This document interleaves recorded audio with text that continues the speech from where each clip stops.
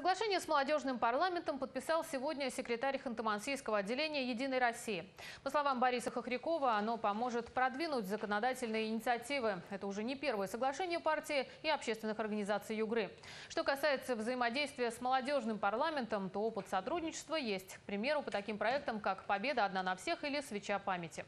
Сегодня идет работа над законопроектом о студенческих строительных отрядах. Такое взаимодействие, оно конструктивное, оно направлено на улучшение жизни югорчан, и э, подписание соглашения придаст определенный импульс в развитии наших дальнейших отношений. Для нас, для молодых парламентариев, это очень важно, потому что мы можем перенять опыт, знания и, так сказать, на практике показать свои возможности депутатам, помочь им э, в, в работе с жителями, в работе с молодежью и уже так совместно выстроить такую по- по- полезную, положительную работу.